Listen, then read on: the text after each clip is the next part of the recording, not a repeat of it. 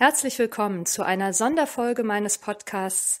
Eigentlich im Gespräch, heute aber tatsächlich im Gespräch mit mir selber zu dem wichtigen Thema, was auch sonst, Corona.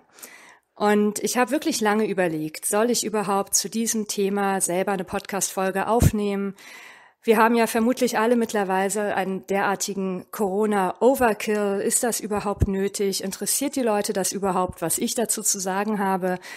Und tatsächlich bin ich aber von ganz vielen Klienten und Bekannten gefragt worden, sag mal, Kirsten, du als Coach, du kannst doch damit wahrscheinlich ganz gut umgehen. Wie machst du das denn? Du hast doch so viele mentale Tools, die dir vielleicht helfen, damit klarzukommen.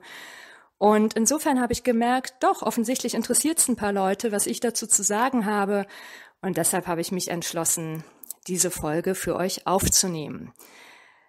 Ja, Corona. Ich glaube, kein anderes Wort wird so oft gebraucht jetzt seit Wochen wie diese Diagnose oder dieses, äh, ja, dieser technische Ausdruck, wobei so technisch ist es ja gar nicht. Auf jeden Fall ist es ein Schlagwort, was uns unglaublich beeinflusst im Moment, nicht nur im täglichen Leben, sondern sicherlich auch mental. Und ich denke, es ist wichtig, dass wir uns damit natürlich immer beschäftigen, dass wir aber natürlich auch nicht in Panik verfallen sollten. Und das ist tatsächlich manchmal leichter gesagt als getan. Wir sind aktuell in einer absoluten VUCA-Situation. VUCA, V-U-C-A, kommt ursprünglich aus dem Amerikanischen und steht für Volatilität, Unsicherheit, Komplexität und Ambiguität, also Mehrdeutigkeit. Und genau das haben wir gerade. Wir sind in einer Situation, wo sich gefühlt minütlich alles immer ändert. Volatilität heißt ständiger Wandel. Wir können sicher sein, dass wir das, was wir heute Morgen hören, ähm, heute Abend schon wieder ganz anders hören werden. Zahlen ändern sich ständig. Ähm, neue Ergebnisse, neue wirtschaftliche Tendenzen tauchen jeden Tag auf. Also wir sind in einer Situation, die sich ständig ändert. Und das müssen wir irgendwie aushalten. Genau wie die unglaubliche Unsicherheit, die gerade herrscht. Unsicherheit im Sinne von VUCA heißt, ich weiß überhaupt nicht, wie eine Situation ausgeht. Und genau das haben wir jetzt auch. Wir haben keine Ahnung, wie viele Leute sich infizieren werden, was das mit unserer Wirtschaft macht. Wir können im Moment zusehen, wie die Aktienkurse immer mehr in den Keller gehen. Das ist mit großen, großen Ängsten verbunden, auch vielleicht äh, bezüglich unserer eigenen Kapitalanlagen, unserer eigenen Altersvorsorge, aber natürlich auch unserer Gesundheit und bezüglich der Gesundheit der Menschen, die uns nahestehen. Wir sind in einem Zustand totaler Unsicherheit. Und das wiederum widerspricht einem unserer größten menschlichen Grundbedürfnisse, nämlich dem Bedürfnis nach Sicherheit. Wir wollen Sicherheit. Wir wollen uns sicher fühlen und genau das haben wir im Moment nicht.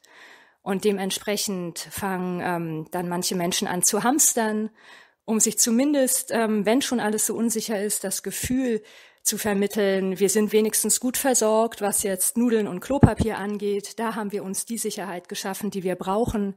Also Hamsterkäufe oder auch die Aggressivität, die mittlerweile manchmal untereinander herrscht, sind ganz klar Zeichen der unglaublichen Unsicherheit, die im Moment herrscht. Und ich finde das nicht gut. Ich halte auch Hamstern nach wie vor für keine gute Lösung. Aber die Verunsicherung kann die Erklärung dafür sein, dass das passiert.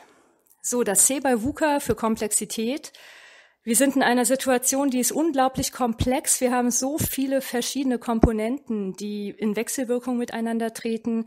Wir wissen noch viel zu wenig über das Virus. Wir wissen nicht genau, ähm, wie äußert es sich, wie lange ist die Inkubationszeit. Ja, man sagt so zwischen vier und 14 Tagen, aber sicher ist das auch noch nicht ähm, wie lange hält sich das Virus auf Oberflächen und so weiter und so weiter. Es ist wahnsinnig komplex und vieles ist einfach noch vollkommen unklar. Und das A letztendlich für Ambiguität, Mehrdeutigkeit.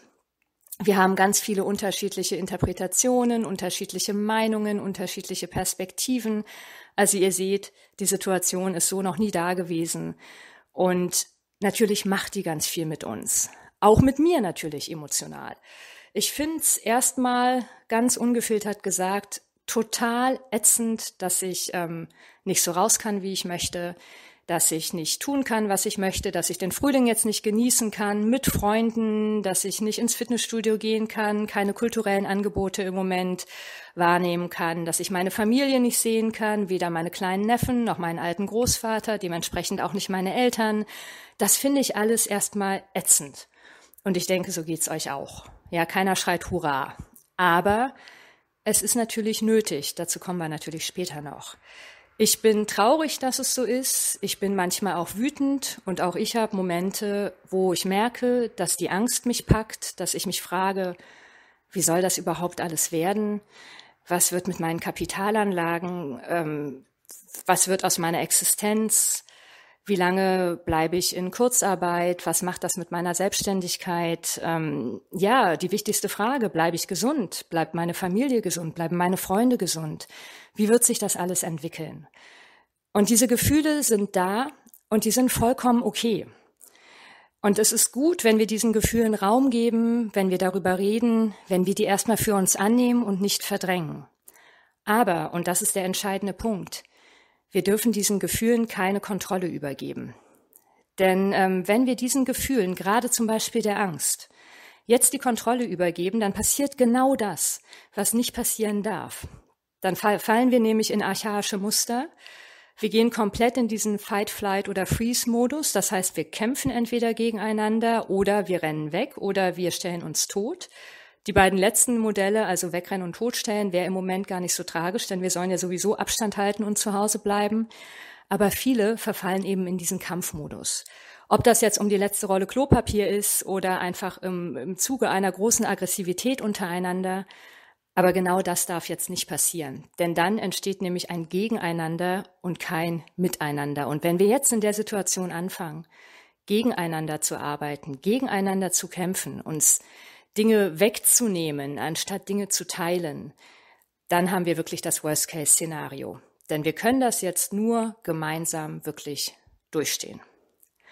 Und da ist jetzt letztendlich die Frage, wie kann ich also konstruktiv den Fokus verschieben in eine positive Richtung? Und da sind mir drei Impulse eingefallen, die für euch vielleicht hilfreich sind. Also ich habe ja schon gesagt, ich finde es ganz ungefiltert gesagt erstmal ätzend, dass ich jetzt so eingeschränkt bin. Und auf der anderen Seite merke ich aber auch, dass sofort eine ganz große Dankbarkeit entstanden ist. Eine Dankbarkeit für all das, was ich sonst so vollkommen selbstverständlich nutzen kann. Wir leben in einem solchen Überfluss normalerweise. Wir haben, ähm, wir können überall hingehen, wohin wir wollen. Wir können reisen, wohin wir wollen. Wir können immer die Menschen treffen, auf die wir gerade Lust haben. Wir können ganz selbstverständlich ein unglaublich großes, reichhaltiges kulturelles Angebot benutzen. Wir können ins Theater, wir können ins Museum, wir können in die Oper, aufs Konzert. Wir können essen gehen, wann immer wir wollen und was wir wollen. Ähm, wir haben so viele Menschen, die uns wichtig sind, die wir immer sehen können. All das ist total selbstverständlich normalerweise. Und jetzt, wo das eingeschränkt ist, spüre ich eine ganz große Dankbarkeit für das, was ich normalerweise habe. Ich bin dankbar für all die Menschen, die ich jetzt physisch zumindest vermissen darf. Und gleichzeitig ähm, merke ich, dass wir auf die Distanz noch mal viel enger zusammenwachsen. Wir telefonieren viel mehr miteinander, wir schreiben, wir halten uns auf dem Laufenden. Ich spüre auch von anderen Menschen, die ich dann mal kontaktiere, um zu fragen, wie es geht, eine ganz große Dankbarkeit. Also wir sind einerseits physisch getrennt und zugleich habe ich das Gefühl, emotional, aber viel näher beisammen. Und auch das ist ähm, eine große Dankbarkeit, die ich tatsächlich erfahre. Und vielleicht ist jetzt auch einfach mal die Zeit, all den Menschen wirklich zu sagen, wie wichtig sie mir sind und ähm, dass ich sie vermisse und dass ich mich einfach unglaublich freue, wenn wir uns wieder entspannt von Angesicht zu Angesicht auch wieder treffen können. Also mein Impuls Nummer eins, eine große Dankbarkeit für all das, was sonst möglich ist. Impuls Nummer zwei, und auch das ist manchmal leichter gesagt als getan, wir können diese Situation nur konstruktiv nutzen, wenn wir sie erstmal akzeptieren. Diejenigen, die sich mit Resilienz schon beschäftigt haben, die wissen, Akzeptanz ist so das erste Resilienzkriterium. Resilienz bedeutet ja Krisenfestigkeit und ähm, stabil durch eine Krise gehen und auch aus ihr gestärkt hervorgehen. Das ist genau das, was wir jetzt brauchen. Und um eine Situation positiv zu verwerten, muss ich sie erstmal annehmen. Ich denke, wir alle haben null Zweifel, ähm, dass Corona existiert. Und ähm, wie gesagt, vielleicht geht's euch auch so wie mir, dass ihr es grundsätzlich auch ätzend findet, was gerade los ist. Aber erstmal müssen wir die Situation wirklich annehmen, als solche, wie sie ist.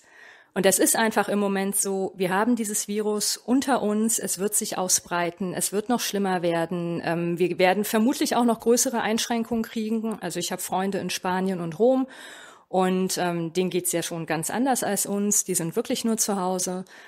Und das wird vermutlich, meine persönliche Meinung, bei uns auch kommen.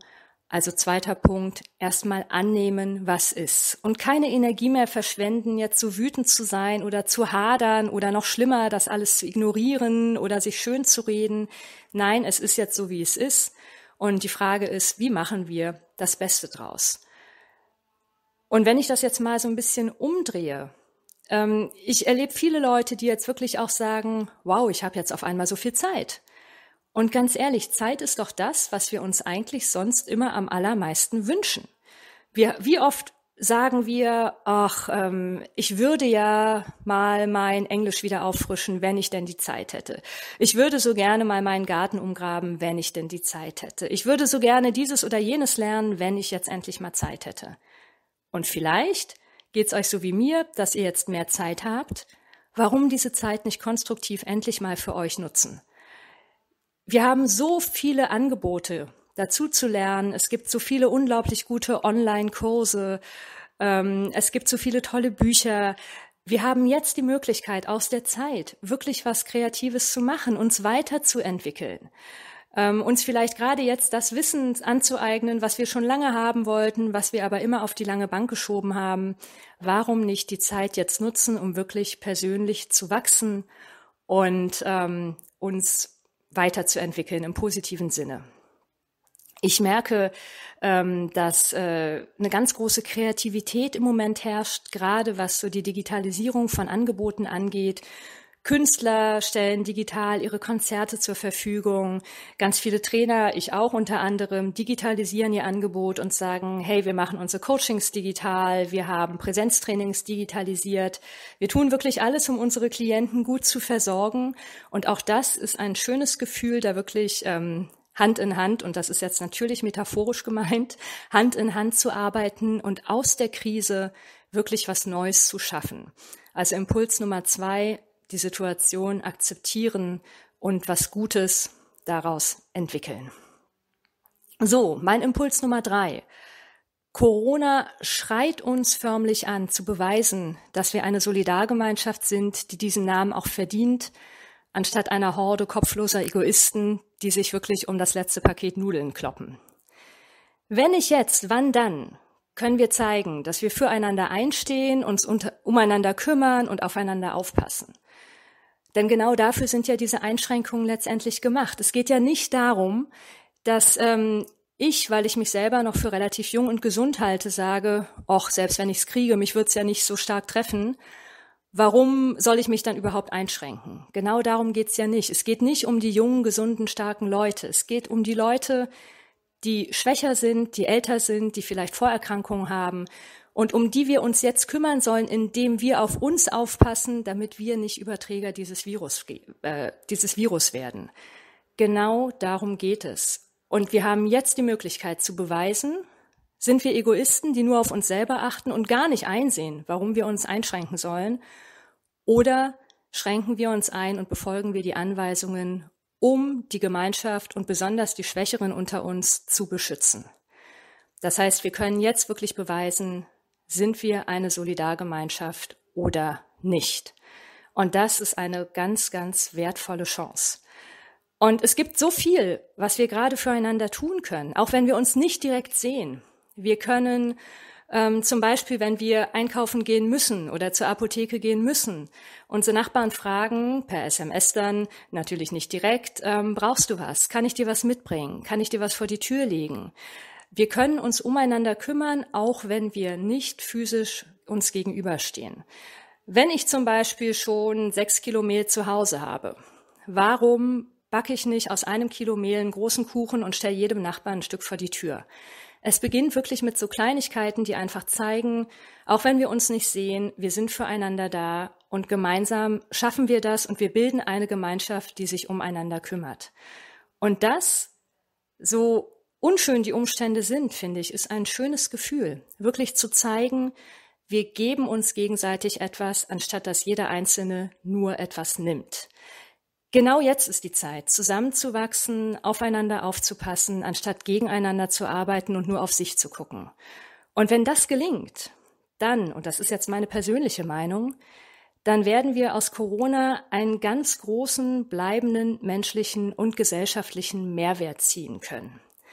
Und wenn ihr Ideen habt, was man noch tun kann füreinander, wenn ihr vielleicht schon Erfahrungen gemacht habt, die ihr gerne teilen möchtet, wenn ihr Tipps habt, wie wir das noch besser bewältigen, beziehungsweise dieses sich umeinander kümmern, noch intensivieren können, dann wäre ich euch sehr, sehr dankbar, wenn ihr eure Ideen einfach hier unter diesem Beitrag schreibt. Den werde ich dann auch wieder posten und dann würde ich mich freuen, wenn wir auf diese Art und Weise wirklich in kreativen Kontakt treten und schauen, wie können wir diese Chance zu beweisen, dass wir füreinander einstehen, immer besser und besser nutzen. Was können wir konkret tun, um füreinander da zu sein und das gemeinsam zu schaffen? So. Das waren meine Ideen jetzt ganz spontan aus der Hüfte heraus, ähm, einfach mal aufgenommen. Ich wiederhole es gerade nochmal. Also Impuls, Dankbarkeit für all das, was wir jetzt noch haben und für das, was wir auch wieder haben werden. Die ganzen Menschen, die uns wichtig sind, alle Freizeitaktivitäten, die wir gerne tun und natürlich auch unsere Gesundheit. Impuls zwei, die Situation so wie sie ist, jetzt akzeptieren und annehmen und dann wirklich kreativ und konstruktiv nutzen, nicht nur für mich selber, sondern auch für andere. Und als letzter Impuls Nummer drei, jetzt wirklich zu beweisen, dass wir füreinander da sind, dass wir füreinander einstehen, dass wir nicht gegeneinander arbeiten, sondern dass wir uns umeinander kümmern und eine Gesellschaft sind, die füreinander da ist. Und vor allen Dingen gerade jetzt sich um die Schwächeren unter uns kümmert und dafür sorgt, dass die nicht krank werden. Ja, das war's für heute. Und jetzt wünsche ich euch natürlich, dass ihr alle, alle gesund bleibt. Ich wünsche euch alles Gute und ich freue mich auf eure Ideen. Bis bald.